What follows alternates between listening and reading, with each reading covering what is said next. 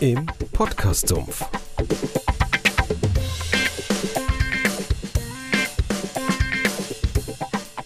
Wir schaffen den Überblick.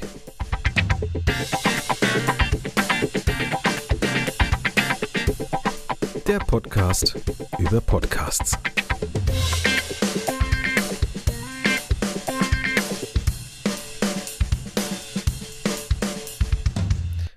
Herzlich willkommen zu Im Podcast Folge 39. Mein Name ist Medi Müller und mir gegenüber sitzt die bezaubernde Tina mit K, hallo. Grüßt euch. Wie geht's? Wie steht's? Alles gut? Ist ja schon länger her. Also für uns, für euch jetzt wieder mal 14 Tage. Aber wir haben wohl schon länger nicht mehr aufgenommen, haben wir gerade festgestellt. Ja, muss drei Wochen her sein. Drei Wochen haben wir jetzt nicht gesehen. Und wir haben es ausgehalten. Ja, deine Frau musste ich zwischendrin mal zu mir einladen, aber ansonsten geht's. Stimmt, ja, die äh, ist ja auch mehr wert als ich. ähm, ja, ähm, hatten wir schon über unsere Premiere gesprochen? Über deine Premiere? Nein, wir haben nur gesagt, äh, es, es wird gewesen sein. Stimmt. Und jetzt können wir auch sagen, wie es gewesen ist. Richtig. Und zwar, es war wunderschön. Der Flashmob hat funktioniert. Ja. Es gab, also hinterher gemacht. äh, gehört, also alle Leute haben gedacht, ey, was soll das jetzt hier? also vielleicht für die Erklärung, die natürlich, äh, gibt es ja auch Leute, die nicht dabei waren. Also wir haben einen Flashmob gemacht an meiner Buchpremiere. Und zwar äh, ist das folgendermaßen abgelaufen. Ich habe hier sonst immer Musik dabei bei meinen Lesungen. Also einen Musiker oder Musikanten, je nachdem, wie man es einordnen will. Und diesmal habe ich halt gesagt, ich habe keinen Musiker bekommen und deswegen habe ich hier Noten mitgebracht und habe die mit dem Beamer an die Wand geworfen und habe gesagt, das Publikum soll singen. Ja, da gab es erstmal lange Gesichter. Aber dann ist der Chor nach und nach aufgestanden und hat dieses Lied geschmettert. Und auch noch ein paar andere. Wunderschön und es hat funktioniert. Obwohl es am Anfang nicht so aussah. Also das klappt. Ich hatte mir da echt große Sorgen gemacht. Ja, es hat auch echt Spaß gemacht. Aber dann nochmal vielen herzlichen Dank an alle Beteiligten im Chor, die uns jetzt zuhören. Da gibt es vielleicht den einen oder andere, der den Podcast hört oder die. Und vielen Dank dafür. Und ja, es hat auch jeder von mir ein Buch geschenkt bekommen. Ja, Hast du deins auch bekommen? ja, hab ich. Du hast es mir sogar signiert. Hast du es denn schon gelesen?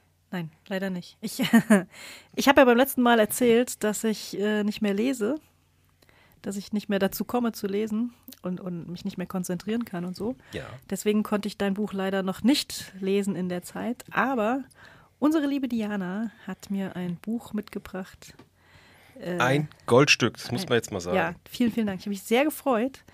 Und äh, mit dem Hinweis, dass dieses Buch schon so manchen, manche Leserin verzaubert hat. Und äh, ich möge das doch mal lesen, vielleicht komme ich dann wieder ins Lesen. Diana, das mache ich. Ich habe demnächst Urlaub. Das wird meine Urlaubslektüre. Danke dir. Fand ich total süß. Und danach liest du dann meins und dann denkst, na gut, egal. Ja, ähm, ich habe auch noch was, ähm, äh, wie soll man sagen, nicht herausgefunden. Ich habe mal geguckt, so, in unseren Statistiken. Und was mich da, wir haben jetzt ganz neu äh, die Länderübersicht, die wir so, so ähm, jetzt bekommen haben. Und das ist hochinteressant, Tina. Ach ja, Wir Phil. werden international gehört. Wirklich? Ohne Scheiß.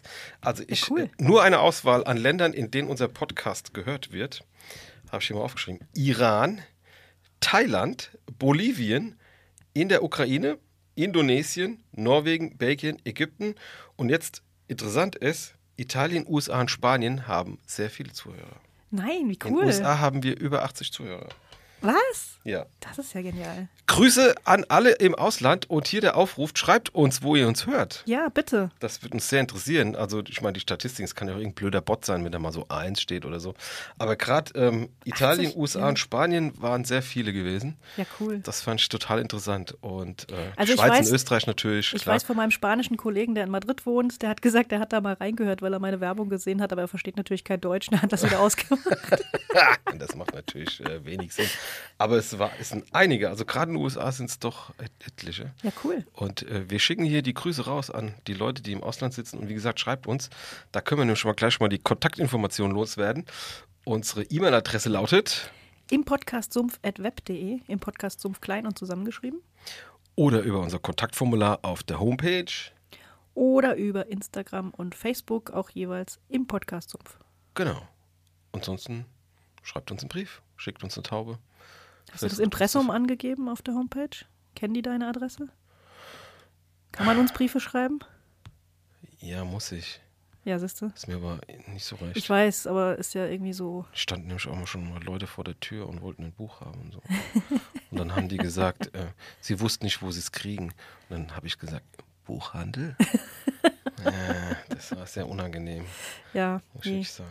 Aber ja, so Impressum muss man ja angeben. Ähm, Wenn es ganz schlimm wird, muss man halt ein Postfach angeben. Ja. Aber ähm, Naja, so schlimm Ja. ist es jetzt noch nicht. schreibt uns Briefe, schickt uns Briefe. Genau. Faxe nehmen wir leider keine an.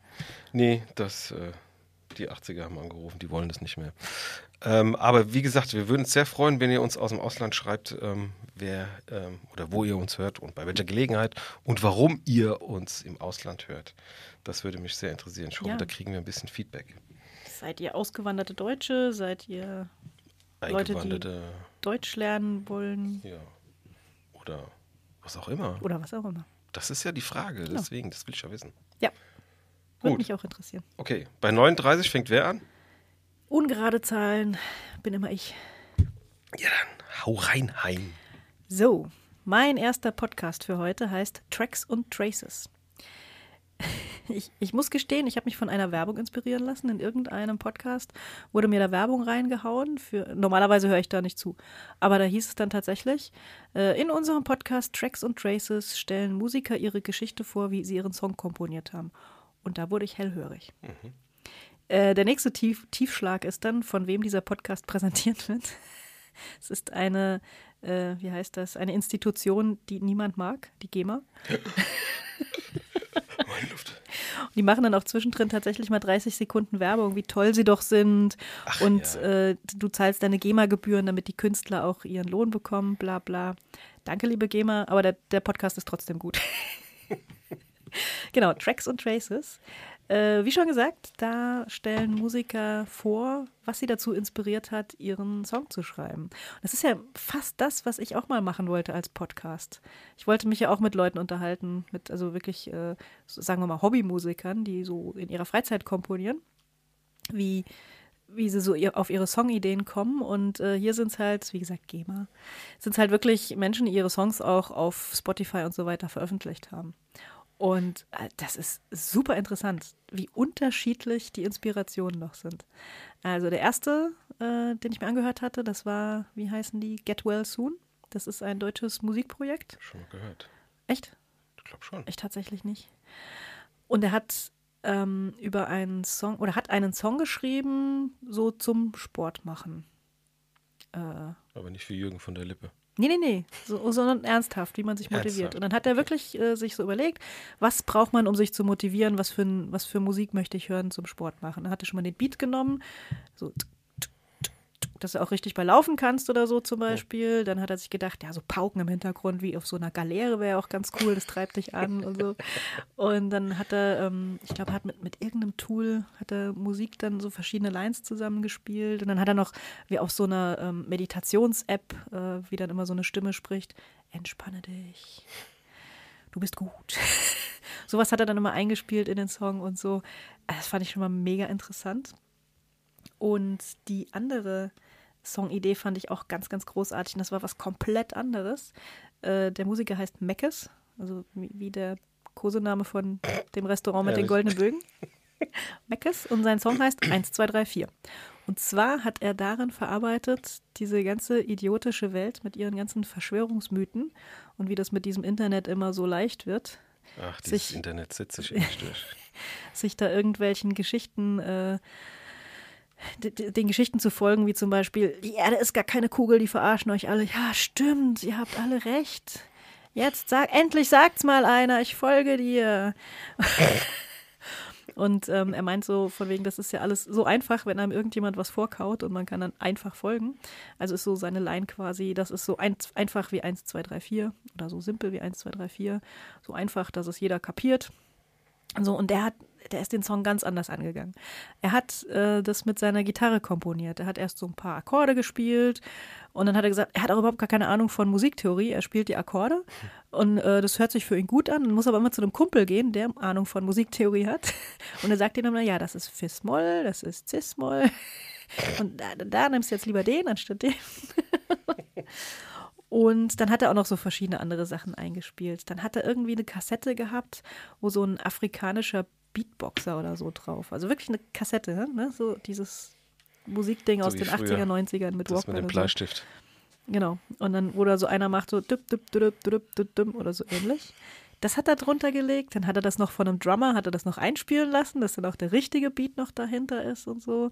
Dann, ähm, genau, dann, dann hat er zusammen mit, mit einem Bassisten gejammt und hat da so noch irgendwie so eine Bassline gesucht und so. Und sagt er, warte, warte, das ist viel zu cool für eine Bassline, das ist die Melodie. Und dann hat er plötzlich die Melodie für sein Lied gehabt. Also, also so kam das so eher zufällig zustande, dass der sich immer mit irgendwelchen Leuten am liebsten in seinem Wohnzimmer zusammengesetzt hat und einfach irgendwas gejammt und zum Schluss kam das Lied dabei raus. Das ist ja geil, das ist ein kreativer Prozess. Wahnsinn, super. Cool. Ja. Und so erzählen die in diesem Podcast ihre Geschichten und großartig. Also wie gesagt, trotz GEMA, schöner Podcast. Das ist eh witz- es gibt so viele Geschichten hinter Musik. Ja. Also da gibt es ja etliche Podcasts auch, die so von den Großen dann, was die so alles erlebt haben auf ihren Ja, ja, Reisen klar. und so. Aber ähm, es gibt zum Beispiel eine Story vom ähm, Phil Collins, der hat, da waren doch diese, diese großen Konzerte für Welthungerhilfe, so, da haben sie doch mal So so. Live Aid, glaube ich, Ja, hieß das ja, oder ja, so. ja, genau. Und da waren ja mehrere Konzerte am gleichen Tag auf der ganzen Welt verteilt. Und dann haben die den, und der Phil Collins ist, glaube ich, an allen aufgetreten und ist halt mit der Concorde von A nach B geballert. und auf dem Weg von London nach New York oder so, das waren ja nur drei Stunden mit der Concorde, hat er sich einen Kopfhörer aufgesetzt oder so einen Walkman und hat das Lied gehört, das er spielen sollte und hat dann seine, seine Trommeldinger da geübt, da, wie nennt man das? Drumlines, keine Ahnung. Also das, was er mitspielen sollte, hat er Ja. dann über Walkman im Flugzeug geübt. Also das, das sind ja Storys und ich finde es halt auch, also das, was du jetzt erzählt hast, wie so ein Lied entsteht, also das jetzt ist ja nicht bei jedem so. Ja, und so Jeder- unterschiedlich. ja, ne? jeder Wie macht das ja anders, ja. Genau. Der, erst, der eine hat erst den Text und macht dann die Melodie, der andere jammt vor sich hin, hat eine Melodie, äh, spielt da einen Text dazu. Also das ist großartig. Krass. Sehr, sehr Das interessant. Und das sind also, wie gesagt, Künstler, die nicht so sehr bekannt sind. Ähm, logischerweise alles deutsche Künstler, die erzählen dann äh, halt alles in Deutsch. Äh, sind alle bei YouTube zu finden, Ach, Ju- äh, Spotify. Und äh, fand ich super. Nee, sowas ist echt gefallen. immer cool. Vor allem macht das Lied dann auch viel interessanter zu Ja. hören, finde ich. Genau, wenn du weißt, was dahinter steckt und Ja. die Idee ist und so, ja, absolut. Es ist ja oft so, wird es ja auch verkannt, so, weißt du.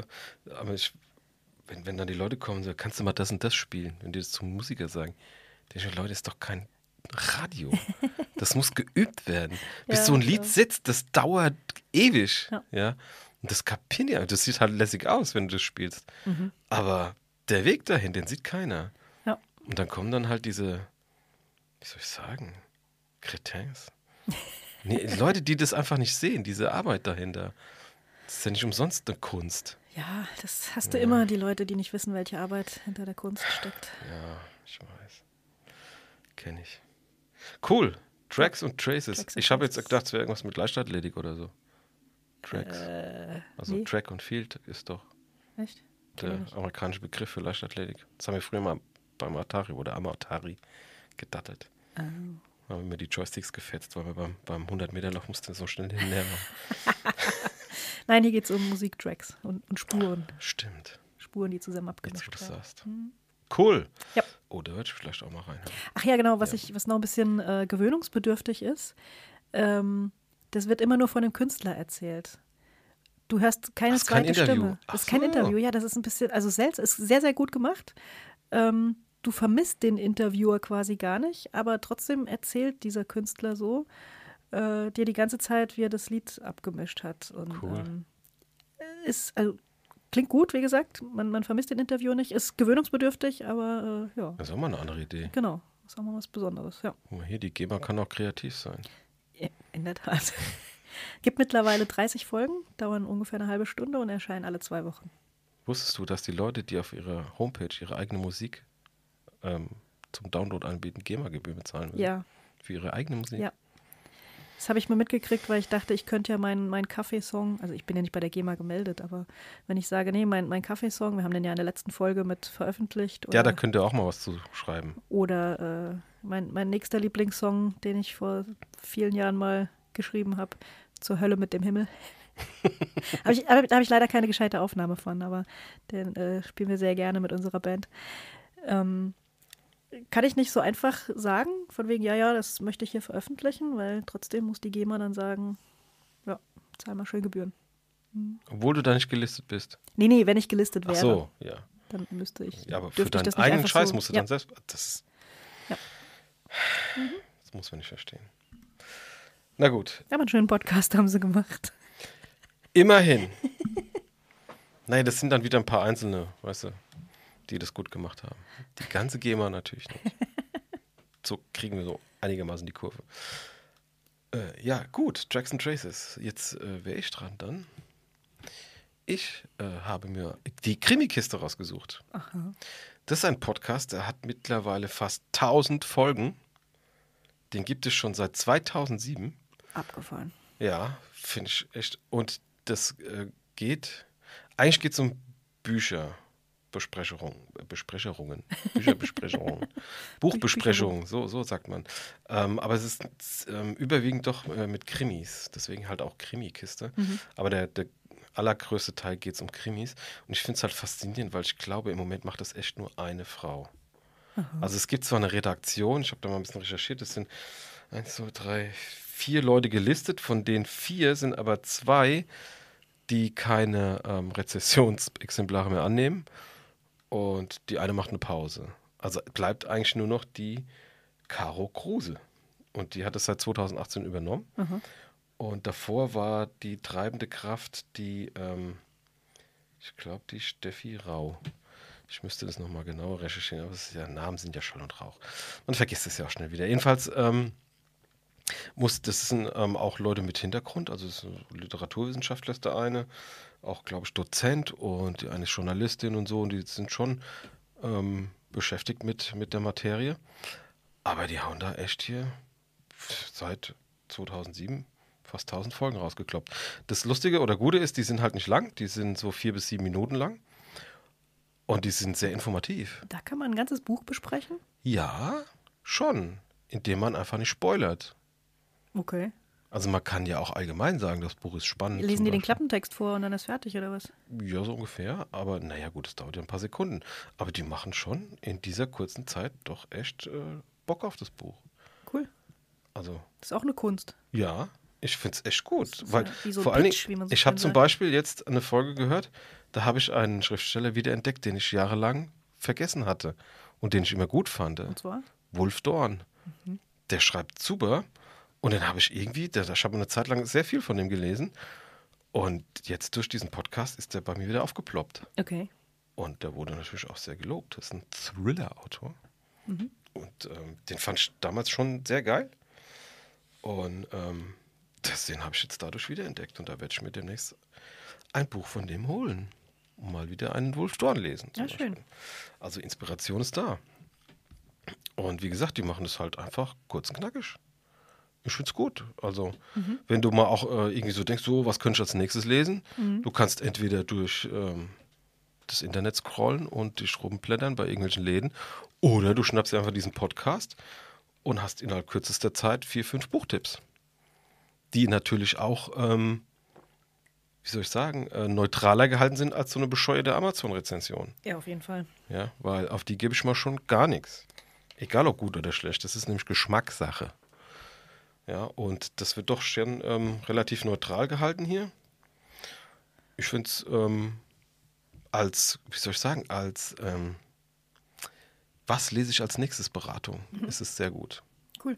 Ja, und gerade auch wenn man natürlich gerne Krimis liest oder so, da kann man sich mal kurz ein, ein, ja, wie so eine Mini-Rezension eigentlich abholen, aber jetzt auch nicht irgendwie so assi so. Also wenn ich jetzt demnächst wieder ans Lesen komme, dann weiß ich, wo ich mir Inspiration hole. Ja, erst einmal liest du mal mein, mein Buch dann. Genau, erst lese ich das Meine von Diana, dann lese Bücher, ich deine. Bücher. Ich habe ja noch ganz viele von dir im Regal. Alle mit Widmung. Und alle nicht gelesen. Alle nicht gelesen. Aber insgesamt gibt es, glaube ich, sogar über 1500 Folgen, sehe ich gerade in meinen Notizen. Hä? Und es ist ähm, Non-Profit. Also die machen das zum Spaß. Cool. So wie wir. Soll es geben, ja. Wir machen es nämlich auch zum Spaß und weil wir Podcasts lieben. Deswegen immer, also es gibt hier zum Beispiel Buch Mietz Marple und die Kralle des Bösen. Wird hier vorgestellt. Ist das eine Verballhornung von Miss Marple? Ja, es ist ein Tierkrimi. Oh, ah, oh. Ich hasse Tierkrimis. Och, die können ganz lustig sein. Aber Da gibt es auch einen Watson dabei und einen Florian Silberschweif.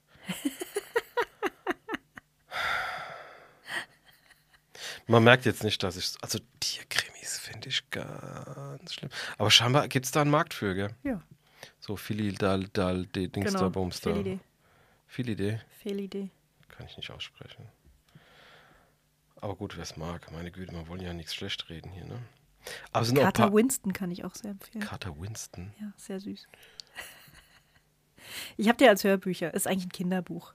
Aber hier ist zum Beispiel auch ein Exot dabei, hier aus Japan. Die Oasawa-Morde von Riku Onda.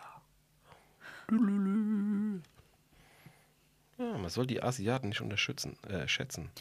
Nee, habe ich schon mal von dem Buch gesprochen, habe ich auch nur als Hörbuch gehört. Die drei Sonnen. Ja, und ihre Gruselfilme, die sind ja wohl. Nein, nein, nein, das ist, das ist ein, äh, ein Science-Fiction-Roman und der ist echt, echt gut. Da geht es um einen Planeten, der in einem Sonnensystem sich befindet, äh, der halt drei Sterne hat. Ne, wir sind ja in einem Sonnensystem, wir umkreisen nur diesen einen Stern. Das ist ziemlich einfach. Ja. Das ist ganz einfach, da kreisen äh, acht Planeten drumherum und gut ist. Die beeinflussen sich alle so ein bisschen, aber ist nicht weiter schlimm. Man kann die Bahn vorher berechnen, alles cool. Wenn du jetzt aber so drei Sterne hast und dann kreisen da auch noch Planeten drumherum, Das ist natürlich ist das ein knifflig. chaotisches System. Das, deswegen heißt das Buch auch im, im Englischen, ich weiß natürlich nicht, wie es im chinesischen Original heißt, im Englischen heißt äh, Three-Body-Problem, weil das physikalisch gar nicht so einfach ist, wie man so drei, eben diese drei Körperprobleme, wie man drei sich bewegende Körper, wie die sich gegenseitig beeinflussen und es ist eher so Chaos, was dabei rauskommt. Also es ist sehr, sehr schwierig, da Stelle voraussagen ich zu mir sehr interessant vor. Ja, und deswegen ist dieses Buch auch, also das Hörbuch habe ich gehört. Super. Äh, ja, nur so viel dazu. Vielleicht haben die das ja auch mal besprochen, keine Ahnung. Ich habe ja jetzt auch ein Hörbuch draußen. Kannst du dir vielleicht schon mal mein Hörbuch anhören, damit wenigstens einer es hört. Ist von dir gelesen? Dann habe ich Ja. noch deine Stimme im Ohr. Voll die Arbeit gewesen. Ey. Ich habe weiß. da Monate dran gesessen.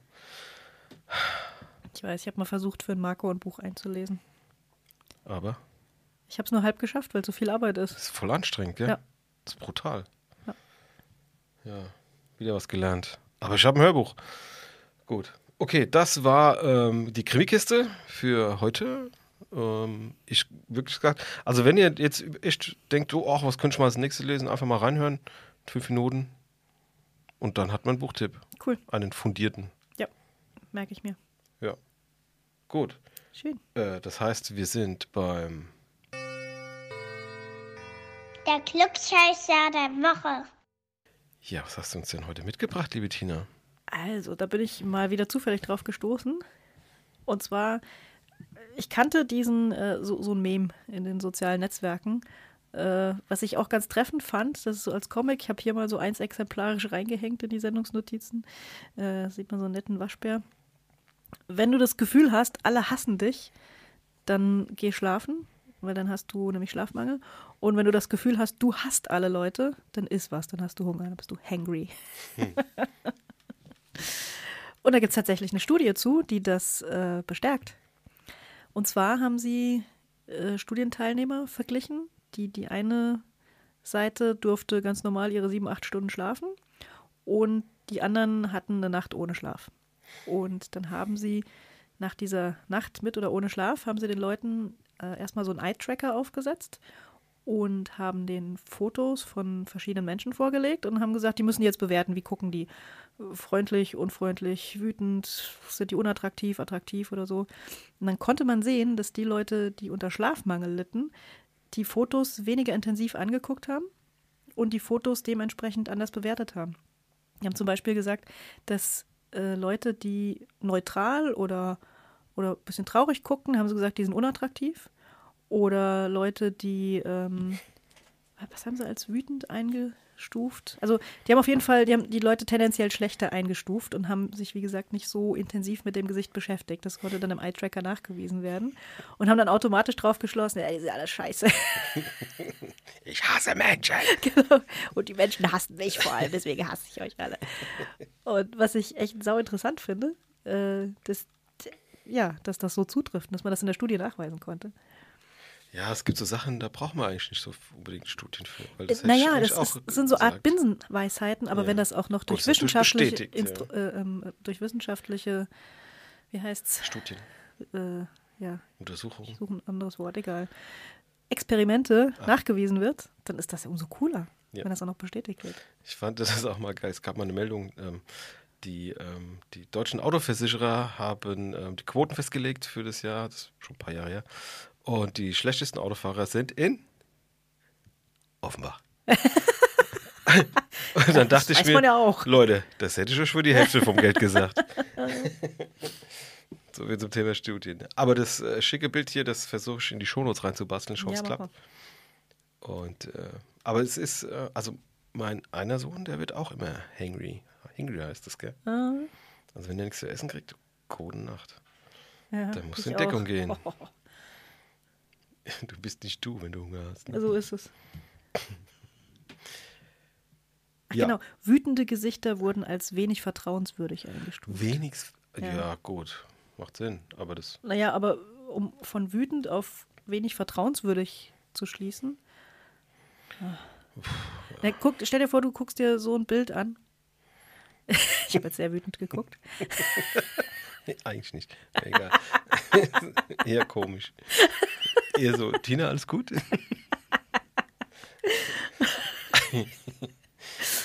Dann äh, würdest du dir das Bild angucken, so ganz ausgeschlafen, so guckst dir das an, guckst dir die Mimik an und sagst, ja, dieser Mensch ist wütend. Und die Leute mit Schlafmangel sagen so, ich kann ihm nicht vertrauen. Also wer Schlafmangel hat, wird paranoid.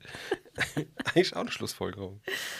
Ich habe Ja, auch mal aus Versehen bei so einer, naja, nicht Studie, bei einer Marktforschungsanalyse oder so, da ist irgendeine Werbung von der VGF in die Binsen gegangen und die wollten wissen, warum. Oder Mainova oder sowas war das. Und dann habe ich einen Brief gekriegt. Und dann haben die gesagt, wenn du kommst, kriegst du 50 Euro. dann bin ich dahin und dann saßen noch so andere und da war so ein Typ und der hat uns so Bilder gezeigt und hat dann gesagt, ähm, ja, äh, was können Sie sich darunter vorstellen, bla bla bla. Und dann gab es noch ein paar Brötchen hin und her. Und dann haben wir, ohne es irgendwie zu wissen, über den ihre Werbekampagne gesprochen. Ja, das ist genau der Trick bei den Studien, dass Ja. du nicht weißt, worüber du sprichst. Die haben uns nicht gesagt, worum es geht, die haben uns halt nur diese Bilder gezeigt Ja. und haben dann die entsprechenden Fragen gestellt, Ja. wie so, ähm, naja, was äh, fällt Ihnen dazu als spontan ein und so. Und, also, ich habe das auch gar nicht gemerkt, dass ich da irgendwie, Ja. das war schon ganz gut gemacht. Dann sind die richtig gut aufgezogen, ja, weil sonst hast Ja. du ja irgendwie so eine, so eine Vor, ein Vorurteil Genau, oder eine Voreinstellung und sagst, oh, das muss ich jetzt sagen. Das war schon echt cool. Und was ich auch nicht gemerkt habe, wir waren ähm, unter Beobachtung im Nachbarraum, das war so ein Verhörzimmer. Uah. Und im Nachbarraum Mit so waren Leute. Spiegel an der Wand. Ja, ohne Scheiß. Auf einmal kam dann einer rein, hat dann gesagt, ja, danke, das langt uns jetzt hier. Und dann hat er aufgeklärt. Wie cool. Und dann hat jeder seine 50 Euro gekriegt. Und auf der Heimfahrt bin ich geblitzt worden. Super. Das ist Und die 50 50 Euro. Euro Euro kann ich wieder weg. Habe ich gerade wieder an die Stadt zurücküberwiesen. Scheiße. So schließt sich der Kreis. Ja, das Geld ist ja nicht weg, es hat nur jemand anders. So, gut, aber du musst durchziehen. Genau, machen wir weiter mit den Podcasts. Ähm, ich wollte eigentlich was anderes vorstellen. Der Philipp hat uns mal wieder eine lange Liste geschickt, aber Oh ja, danke, Philipp. Philipp, du musst äh, aufs nächste Mal warten. Ja, ich glaube, der hat auch Schlafmangel. so viel Podcasts, wie der uns immer vorschlägt, zu erwarten. Äh, ich habe nämlich was anderes zufällig gefunden. Ähm, äh, und zwar ist das eine Moderatorin aus der Sendung Hund, Katze, Maus von Vox, die Kate Kitchenham. Ich, äh, ich binge ja seit Januar irgendwie alle Folgen von Hund, Katze, Maus weg, weil die Welt ist so schlimm und schlecht und ich gucke mir einfach jede, jeden Abend so ein, zwei, drei Tiersendungen an. Tiere sind schön. Das Beste, was du Tiere machen sind gut, kannst. genau. So, und jetzt hat seit Anfang 2021 hat die Kate Kitchenham übernommen und diese Frau ist Verhaltensbiologin. Also die hat Ahnung von dem, was sie tut. Mhm. Die sagt nicht einfach nur, ich habe einen Hund zu Hause und weiß, wie der bellt, sondern Als Biologin. die hat das studiert Verhaltensbiologie und noch irgendwas Okay. und weiß, warum Hunde sich verhalten, wie Hunde sich verhalten. Und was auch ganz großartig ist in diesen jeweiligen Folgen oder in, in manchen Folgen stellt sie dann auch, also in, ich bin jetzt immer noch bei Hund, Katze, Maus, stellt sie dann auch die Studien vor, die mit Hunden gemacht wurden. Und jetzt hat sie einen Podcast aufgezogen, zusammen mit, ähm, ist sie auch Moderatorin oder ist sie Madita von Podcast? Hülsen. Madita von Hülsen. Ich finde diese Namen so cool. Madita von Hülsen und Kate Kitchenham. das Die ist klingen wie. Künstlernamen, ja. Äh, auf jeden Fall ähm, äh, zieht die Kate sich eben alle möglichen Studien an Land. Es, es gibt immer mehr äh, Studien, die mit Hunden durchgeführt werden und spricht dann in diesem Podcast darüber. Ach, Ich habe den Titel immer noch nicht erwähnt. Der heißt Vier, äh, vier, Vier, vier Pfoten, vier Pfoten, zwei Beine und tausend Fragen. Und das ist nicht nur ein Podcast über, wie erziehe ich meinen Hund, sondern eigentlich geht es da mehr drum über das Zusammenleben mit Hunden. Also ich weiß, dass wir nicht so viele HundehalterInnen unser, unter unseren HörerInnen haben, aber ich. Vielleicht im Ausland. Vielleicht im Ausland, genau. Und ähm, ich fand das super interessant. Ich habe, äh, seit ich da das erste Mal reingehört habe, als ich dann gemerkt habe, dass die Kate Kitchenham einen Podcast hat, konnte ich nicht mehr aufhören, habe mir eine Folge nach der anderen angehört. Und äh, ja, das ist, wo, wo fange ich an? Also, zum Beispiel, so, so ein bisschen Notizen habe ich mir noch gemacht. Immerhin. Ähm, ja, ähm, zum Beispiel hat sie, äh, ne, also um auch zu wissen, was, was im Gehirn von Hunden vorgeht, muss man die ja ins MRT schieben. Und du warst ja auch schon beim MRT, du weißt, da muss man 20 Minuten lang stilllegen. Jetzt bring das mal einem Hund bei. Sitz. Genau, Platz und bleib. Bleib. Und dann freut er sich und wedelt mit dem Schwanz. Ah, scheiße, Bild kaputt. Ähm, und die haben es tatsächlich geschafft. Äh, es gibt wohl zwei Forschergruppen, die das geschafft haben, einem Hund das beizubringen, so nach und nach wirklich bis zu acht Minuten komplett stillzulegen und sich nicht zu bewegen. Und die haben das so als geiles Spiel für den Hund dargestellt, dass der Hund dachte, ja, das ist jetzt voll das Geistige, was ich mache und ich kann ruhig und still liegen. Und dann konnten die halt wirklich äh, gucken, was, was in dem Gehirn vor dem Hund vorgeht. Und dann Und was geht davor? ja, pass auf. Nix. Erst noch, doch, jede Echt? Menge. Ja, ja, ja. Und dann äh, reicht ja nicht nur ein Hund, um so eine Studie durchzuführen. Ähm, brauchst ja wirklich ein Paar, um das auch zu bestätigen, dass das bei allen Hunden so ist. Und es wäre ja jetzt sau anstrengend, jedem einzelnen Hund das beizubringen. Ähm, aber Hunde lernen ja auch durch Beobachtung. Dann haben die den anderen Hunden quasi vorgeführt, so guck mal, was dieser Hund Geiles kann. Der kann acht Minuten still im MRT liegen. Und die anderen Hunde so, cool, das will ich auch. Das haben die nicht mit unserem gemacht. Mit unserem auch nicht. Weil wegen Hirnströmen, manchmal, der guckt aus dem Fenster, denke ich, komplette Leere. Komplette Leere. Das ist Wahnsinn. Das ist beneidenswert vor allen Dingen, finde Ja, ist toll. Auf jeden Fall haben die das geschafft und, und sind da so großartig mit den Hunden und dass die dann auch ins Gehirn gucken konnten. Und dann ging es nämlich darum, wie viele Worte, menschliche Worte können Hunde verstehen. Und äh, die genaue Zahl weiß man noch nicht, aber es sind verdammt viele. Du kennst ja auch den, äh, es war wohl bei Wetten das, der Border Collie, der aus 70 Spielzeugen jedes beliebige raussuchen konnte. Und ähm, also er hatte 70 Spielzeuge, wusste von jedem einzelnen den Namen. Und dann hat, haben die noch eins dazugelegt, was er nicht kannte. Und dann haben dieses, diesen Namen gesagt. Und dann hat er gesagt, ja, okay, die 70 kenne ich alle, das nicht, also muss es wohl das sein. Uh. Da haben sie zugegeben, das kann nur der Border Collie, also oder, oder Hunde mit dem Level. Also das. Krass. wir haben ja einen sehr schlauen Schäferhund, der kann das nicht. Der kann noch nicht mal zwei Wörter unterscheiden. Ich habe es versucht. Ich habe ihm versucht, zwei verschiedene Spielzeuge be beim Namen zu nennen. Er hat mir einfach immer das gebracht, worauf er gerade Bock hat. In unserem kannst du das auch nicht machen. Ja, der hört ja auch nichts mehr. Stimmt, das kommt noch dazu. Macht die Sache ein bisschen schwieriger. Und was die jetzt im MRT rausgefunden haben, als die gucken wollten, was der, wie, wie der Hund menschliche Sprache verarbeitet ist. Ne, man sagt ja, du kannst dem Hund alles sagen, äh, die Stimme, die, die Stimmlage ist wichtig. Ja. Ist nicht ganz richtig. Okay. Die Stimmlage wird in der einen Gehirnhälfte verarbeitet, die Worte in der anderen. Und der Hund merkt das, vorausgesetzt, er kennt die Worte natürlich, wenn das Wort nicht zu der Stimmlage passt. Also, ne, wenn du immer deinen Hund lobst, fein gemacht und super und hallo und sagst dann auf einmal, toll, super. Und dann sagt der Hund, äh, Moment, was soll denn das hier? Das- das finde ich faszinierend. Also, ich wusste, dass Hunde viel verstehen, auch wenn ich unseren Hund, der zwar eigentlich ein schlauer Schäferhund ist, aber für einen Schäferhund eher so Level Kevin, Ein Alpha-Kevin. äh, was, was, was in diesen Hundeköpfen doch alles vor sich geht. Das ist äh, faszinierend. Cool. Und da redet die halt ganz viel drüber. Natürlich geht es auch um Hundeerziehung. Und wie bringe ich dem Hund Fußlaufen bei? An der Leine, nicht an der Leine ziehen, bla bla bla. Logisch. Aber ähm, was sie macht, sie bringt halt wirklich immer die neuesten Erkenntnisse aus der Wissenschaft rein. Und das finde ich großartig, weil Stell dir vor, dein, dein Job ist das. Super. Geil muss denn das sein? Ja. Diese Verhaltensforschung am Hund oder Oh, traumhaft. so. Was ist Ich das? glaube, ich habe doch Wie- noch mal einen wie Traumjob gefunden. Verhaltensbiologie. Das ist cool. Und äh, die, die aktuelle Folge zum Beispiel heißt Mythen in der Hundeerziehung, Teil 1. Und da geht es nicht drum, tunkt dein Hund nicht mit der Nase in sein Pipi, damit der Stuben rein wird. Das wissen wir mittlerweile alle, dass das äh, nicht mehr zeitgemäß ist. Sondern ähm, was anderes, was man immer sagt, ist, wenn man den Hund alleine zu Hause lässt und kommt wieder nach Hause, dann darf man äh, nicht darauf reagieren, wenn der Hund sich freut. Völliger Bullshit. Der Hund denkt dann, Alter, Wieso darf ich dich nicht begrüßen? Ja. Also das habe ich jetzt auch noch nie gemacht. Nee. Ich freue mich doch auch, wenn ich den sehe. Richtig. Du freust Ja. dich auch, wenn du siehst. Und so ist es auch im Hunderudel, in, in Rudeln, die zusammenleben. Die gehen dann tagsüber allein auf die Pirsch. Und wenn die sich dann abends alle wieder zusammen treffen und dann begrüßt auch der Rangniedrigste den Ranghöchsten und umgekehrt. Das gibt's überhaupt nicht, dass man sich nicht gegenseitig Ja, aber guck begrüßt. mal, wenn ich einen scheiß Tag habe, komm nach Hause und der kleine Kerl kommt mir entgegen, Ja. ist doch alles vorbei. Genau, Ist alles gut. richtig. Und vor allem ist es ja voll unhöflich. Das ist ja wie wenn du deinen Freund irgendwo in der Stadt triffst Ja, und läufst an dem vorbei. Nein, ich darf dich nicht begrüßen. Denkt er auch, Alter, was geht mit dir? Ja gut, es wäre auch blöd, wenn man sich gegenseitig am Geschlecht riechen würde. Ja. auch. Oh, ich war ja wieder wandern. Da war so ein ganz aufdringlicher im, im ich war im Hund oder Mensch? Hund. Achso. Der, ähm, also ich war in den Stulbenfällen, das ist so eine Klamm-Schlucht-Ding, also ist jetzt keine richtige Klamm, also so eine Mischung aus beidem. Und ich laufe da und auf einmal höre ich so hinter mir so, und ich so voll erschrocken, so, fuck, wieso?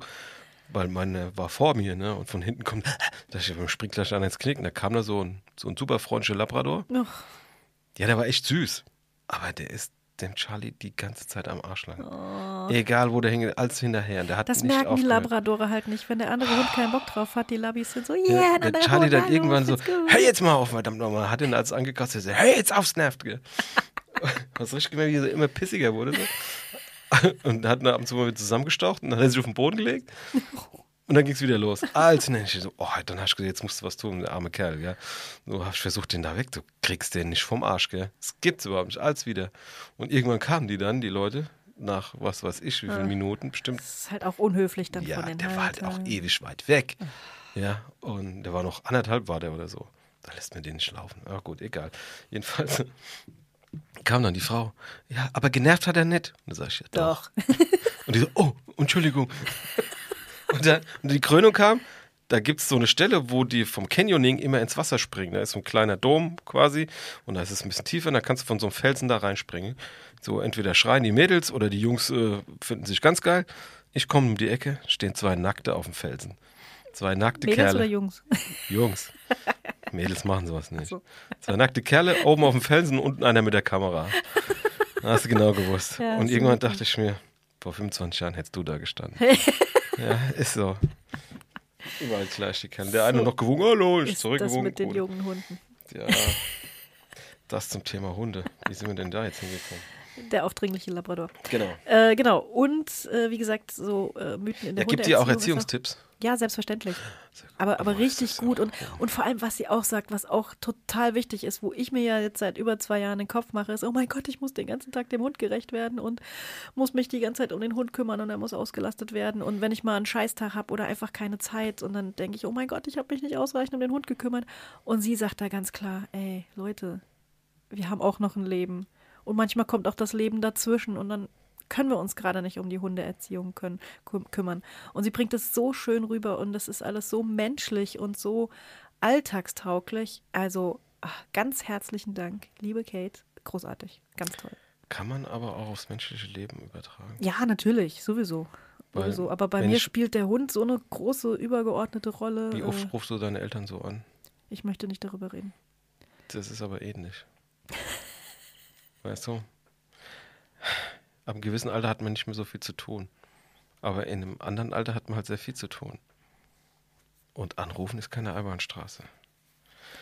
Ja, aber die Kate plädiert halt dafür, mach dir kein schlechtes Gewissen, wenn du gerade mal nicht kannst. Das Ich ist kann normal, nie. es ist menschlich. Ich habe keine Zeit. Es geht immer noch um den Hund. Für den Hund habe ich immer Zeit. Siehst du? Ist ja mein kleiner Freund. Außerdem kann der, sagt die Conny immer so schön. Der ist ja abhängig von uns. Ja, eben. Das Ja. ist es ja, warum ich mir immer so Vorwürfe mache, wenn ich mich mal nicht um ihn ja, kümmern konnte. ein Tag oder so, das wird er schon überleben. Wir haben die Verantwortung für dieses Wesen übernommen, für dieses große Kalb. Muss man jetzt durchziehen. Also, vier Pfoten, zwei Beine und tausend Fragen. 37 Folgen, etwa eine halbe Stunde und erscheint mittlerweile alle zwei Wochen. Das, das fand ich auch so nett in der einen Folge. Ähm, die Madita ist wohl vor kurzem Mama geworden und, und hat sich so rechtfertigen müssen in einer Folge oder sie hatte das Gefühl, rechtfertigen zu müssen. So, oh, liebe Hörerinnen, Hörer, ich kann leider nicht mehr jede Woche aufnehmen. Wir müssen jetzt auf zwei Wochen runtergehen. Also, wer da kein Verständnis für hat, sorry. ähm, Den brauchen ich wir auch finde nicht, dass man sich dafür rechtfertigen muss. Nee. Also Chapeau, dass sie es trotzdem noch hinkriegt, alle zwei Wochen Ja. Podcast zu machen. Eher das. Mit einem kleinen Kind.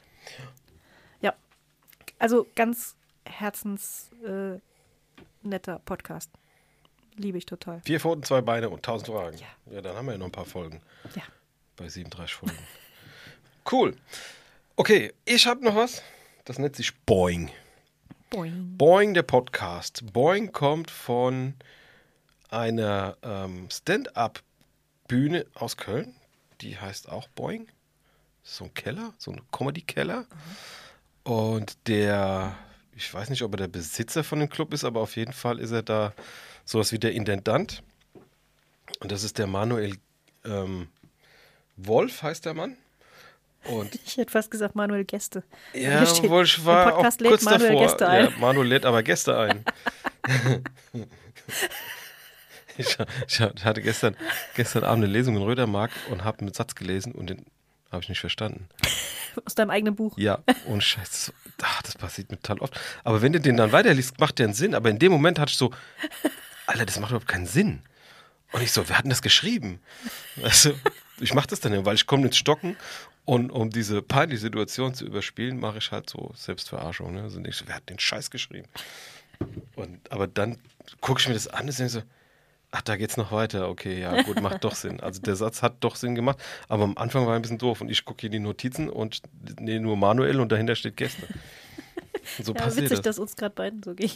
Aber es ist der Manuel Wolf aus Gölle und der ist, äh, eigentlich ist er, glaube ich, Musiker von Haus aus und hat aber da irgendwie so Stand-up ist er da reingerutscht, mehr oder weniger und hat jetzt diesen, diesen, äh, diese Bühne, Boing und ähm, ja, und in der Pandemie hat er jetzt angefangen, da so einen Podcast zu machen. Und da lädt er sich andere Comedians zum Talk ein.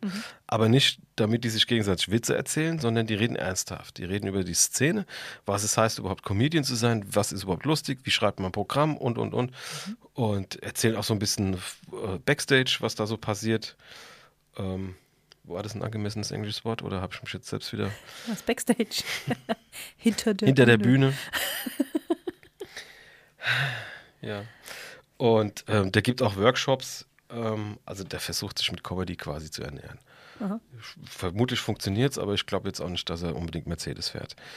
ähm, und der lädt sich halt äh, Stand-up-Comedien ein. Aber das sind jetzt nicht so die, die du kennst. Also der bekannteste war Lutz van der Horst und der ist von der Heute-Show. Ja. Und der andere war der, ich kann es nicht aussprechen, ich habe es mir irgendwo hingeschrieben. Wer ist der Mensch? Ähm, In Lautschrift oder was? Maxi Stettenbauer Achso, oder ba Bahn. egal. Ach, den kennt Maxi. man. Wenn man den sieht, kennt man den. Ich bestimmt nicht. Ja, gut, du bist ja nicht normal. Also das sind so die zwei, die ich wirklich kannte. Also das ist jetzt und der Bruder von der Caroline Kebekus.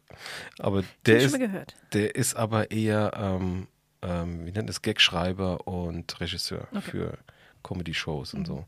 Also der schreibt wohl auch für die Heute-Show und für Samstagnacht hat er schon geschrieben und lauter so Sachen halt und für, für was noch. Aber der, der scheint auch ganz gut da so im, im Gagschreiben drin zu sein. Aber der macht auch Stand-up.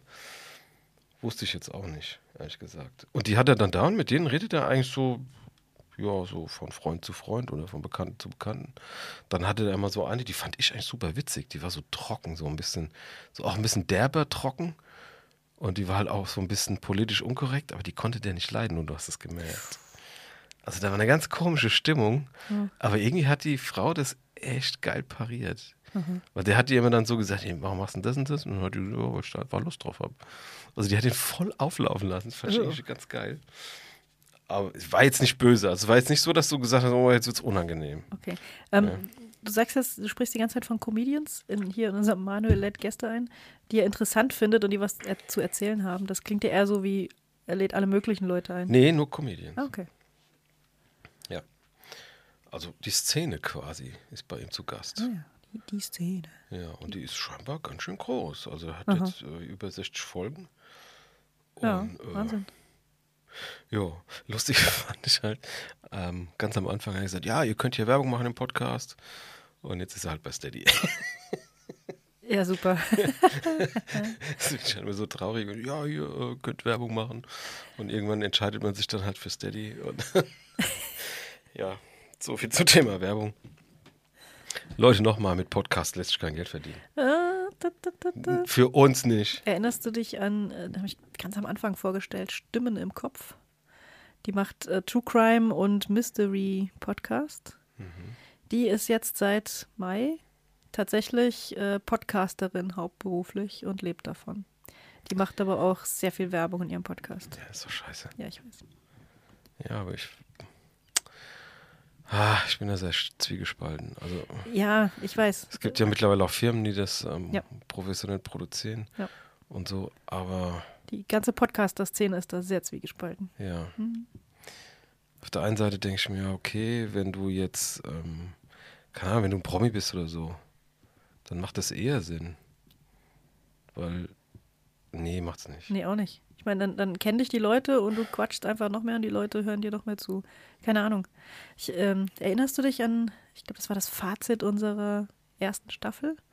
Als ich gesagt habe, oder nee, das war, glaube ich, der Anfang. Wa- Was, was erwarten wir von unserem Podcast? Ich habe gesagt, ich möchte reich und berühmt werden. Hast nein, nein, berühmt. Nein, ich glaube, ich habe gesagt, ich wollte berühmt werden. Wir arbeiten daran. Wir arbeiten daran. Ja, berühmt sind wir. Wir sind in, äh, ich kann es ja mal äh, durchzählen, wie viele Länder es sind. Gut, manche haben nur einen Abruf. Es kann natürlich auch sein, dass sie sich einfach mal verklickst haben oder Vielleicht so. war auch jemand im Urlaub und hat da den Podcast runtergeladen. Egal, ist doch cool. Und weil das also, gerade eine thailändische IP-Adresse war. Also, ich ähm, finde das total interessant. Ja, wir du- arbeiten daran. Ich, äh, und uns ist ja die, die äh, unsere glücklichen HörerInnen sind ja unser Lohn, wenn wir Leute auf schöne Podcasts genau, darum geht es uns ja. Ja, aus Liebe zum Podcast ist Ägypten unser ist auch Untertitel. dabei und zwar nicht zu knapp. Okay. Und sogar unbekannt. Irland, Uruguay, Slowakei, Russland. Also das ist schon interessant. Also gut, jetzt die, wo so ein paar Downloads sind, es kann natürlich ein Unfall gewesen sein. Aber Italien ist schon kein Unfall mehr oder Vereinigte Staaten. Südtirol, die sind ja deutschsprachig quasi. Ihr echt, Leute, schreibt uns das. unterwegs. Komm, springt mal über den Schatten und sagt mal, wo ihr uns hört. Das interessiert mich brennend, warum man uns im Ausland hört. Gerade so Länder wie Ägypten oder so. Oder Belgien. Niederlande Also Vor ist der Pandemie hätte ich gesagt, das sind alles die Kreuzfahrttouristen, die sich während der Kreuzfahrt mit einer ägyptischen äh, IP-Adresse den Podcast runterladen. Ich habe keine Ahnung. Nee, sag's uns bitte. Das ist voll unromantisch, was du da gerade sagst, ne? Macht uns schlauer, liebe Hörer, liebe Ja, Hörerinnen. bitte. Interessiert uns. Also, also, wir haben sogar eine richtige Fangemeinde in Österreich, sag ich jetzt einfach mal. So nach den Zahlen her. Echt schön. Vielen Dank. Wir, wir empfehlen ja auch schöne österreichische Podcasts. Genau, die sind auch super. Also, Ja. da habe ich schon einige Ja, Perlen österreichische gefunden. Podcasts. Soll ich sagen? Aber zurück hier zum äh, Boeing. Boing, Ähm, die Comedy-Szene. Ja, ich war aber eigentlich schon durch. nee, ist sehr unterhaltsam. Also der Typ ist auch sehr witzig und sehr ehrlich auch. Also der nimmt jetzt kein Blatt vom Mund. Und der ähm, geht auch mal dagegen, wenn ihm irgendwas äh, quer sitzt und so. Und ich finde es halt auch mal interessant zu sehen, dass das auch Comedy-Arbeit ist. Also Ja. da wird auch sehr viel drüber gesprochen, Okay. wie die ihre Gags äh, entwickeln und ähm, ja, was sie so erleben und welche Tiefschläge und so halt. Das, es gibt es ja überall in dieser Branche, dass du da echt auch mit Tiefschlägen umgehen musst. Umgehen musst? Heißt das so? Okay, hört sich blöd an. Egal. Also ähm, sehr interessant, wenn man mal wissen will, was hinter den Kulissen von dem ach so lustigen Comedy-Bereich abgeht, weil es ist nicht immer alles lustig. Und Schlager ist auch nicht immer heile Welt. Nee, auf gar keinen Fall. Ja, das ist Mord schon, und Totschlag. das sind so wie Reiterhöfe. 300.000 Treffer bei Reiterhof und Mord, mehr muss ich jetzt nicht sagen. Jo, damit wären wir schon wieder durch. Oder? Täusche ich mir? Ja, aber wo du gerade Reiterhof sagst, äh, ich muss noch mal den Bogen zum Anfang schlagen. Dass du mich gefragt hast, äh, wie, ob ich dein Buch gelesen habe und wie, als wir von deiner Lesung erzählt haben. Meine Aufmerksamkeitsspanne reicht so weit, dass äh, als du vorgelesen hast und warte mal, wie war das? Und dann hast du von dem Peter, wie hieß er noch? Freiwald. Genau, Peter Freiwald erzählt. Und dann, äh, und der war ja verschwunden. Und dann auf einmal äh, haben die den irgendwo äh, äh, zusammengeschlagen, verletzt irgendwo gefunden. Und ich frage meine Sitznachbarin, hä? Da ist er doch. Wieso ist er verschwunden? Und sie zu mir, äh, ja, das war der Zeitsprung. Der hat doch gesagt, das ist jetzt ein paar Jahre zuvor. Ach so, ich hatte das voll verpeilt.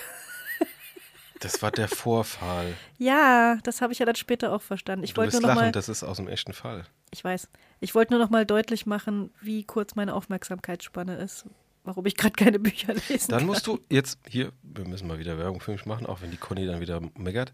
Aber am 27.05., da ist der Podcast schon eine Woche alt und da haben wir eigentlich alle Hörer erreicht, mehr oder weniger. Am 27.05. in der Obermühle in Niedererlenbach gibt es ein Kurzgeschichtengewitter von mir. Oh, Das ist sehr zu empfehlen. Muss ich wirklich sagen. Ich habe das am Samstag das erste Mal getestet in Schmitten. Das kam sehr gut an. okay.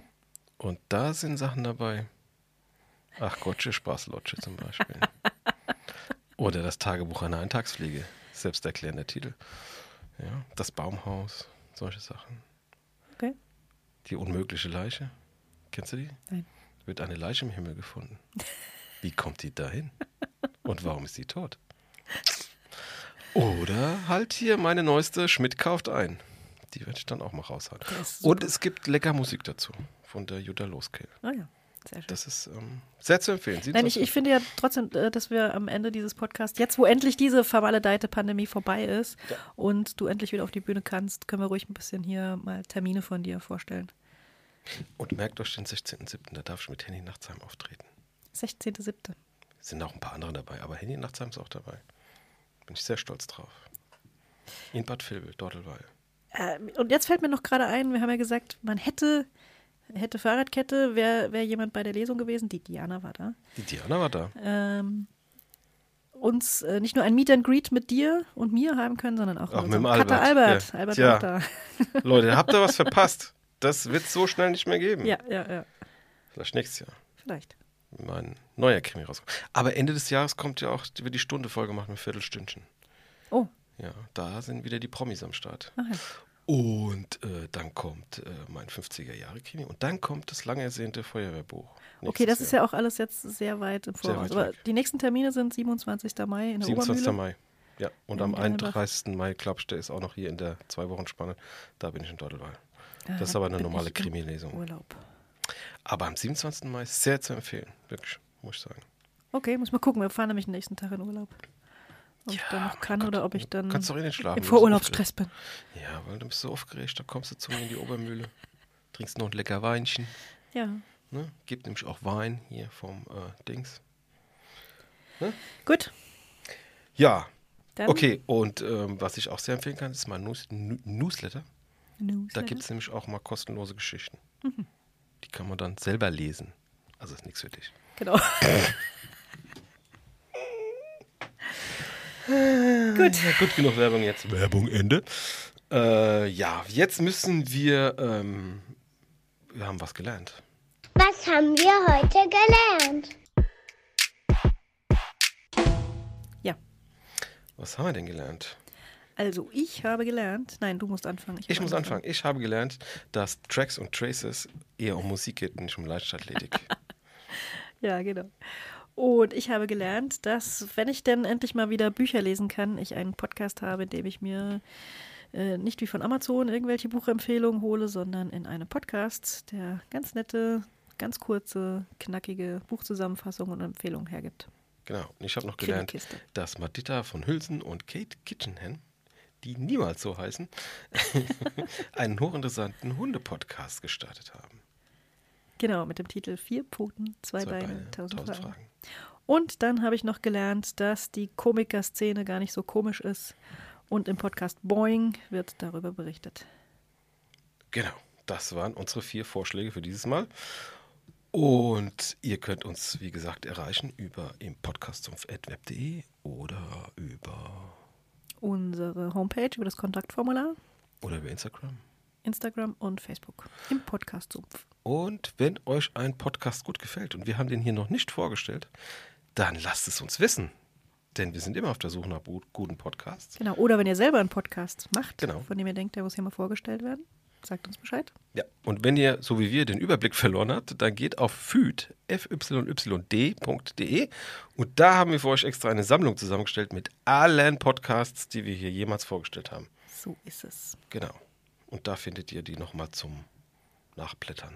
Und wenn wir jetzt schon dabei sind, ähm, dann auch hinterlasst uns gerne eine Rezension auf iTunes oder Spotify. Das hilft uns, sichtbarer zu werden.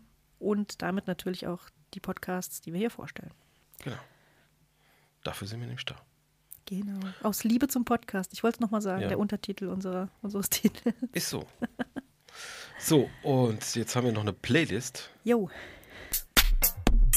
Hier kommt die Spotify-Playlist. Was hast du denn da mitgebracht? also ich habe natürlich das vorhin erwähnte 1, 2, 3, 4 von Meckes darauf gesetzt. Das ist echt cool. Ja, und ich habe von Kylie Minogue und Nick Cave, Where the Wild Roses Oh, das ist Grow. schön. Ja, sehr schönes Lied. Und dann habe ich noch für die Hunde The Rolling Stones, Walking the Dog. Und für den Boing Podcast habe ich mir Kraftwerk ausgesucht, Boing Bum Chuck. ja, ich muss die mir unbedingt mal anhören, Playlist. Ich habe die neulich mal gehört, habe ich glaube ich erzählt, ne? Da bin, Stimmt, beim ja. Asterix bin ich ausgerastet.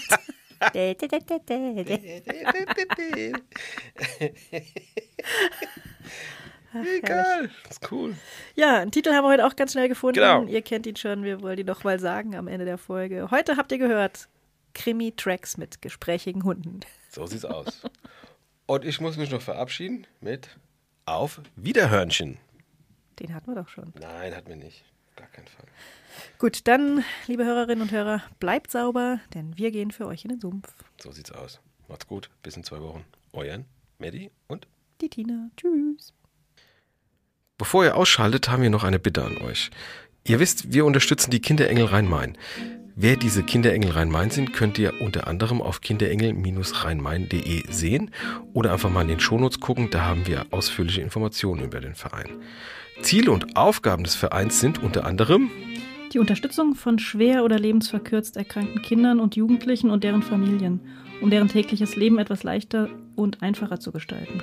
oder die Beschaffung oder Bezuschussung notwendiger Hilfsmittel oder Therapien, für die die Kosten von anderen, der gesetzlichen Krankenkasse oder zuständigen Institutionen nicht oder nicht ganz übernommen werden. Oder die Förderung von Einrichtungen und Institutionen, die eine optimale Behandlung, Betreuung, Begleitung, Pflege und Nachsorge und eine wirksame Lebenshilfe für die erkrankten Kinder, Jugendlichen und jungen Erwachsenen und ihren Familien bedeuten. Ihr könnt die Kinderengel Rhein-Main ganz einfach unterstützen, indem ihr Mitglied werdet. Und wenn ihr wissen wollt, wie die Kinderengel arbeiten, dann schaut doch mal ganz unten auf der Seite unter Aktuelles, zum Beispiel ein Zuhause für die Engel oder ein Jahr Kinderengel, wie es dem Projekt ergeht. Vielen Dank. Und jetzt tschüss. Tschüss.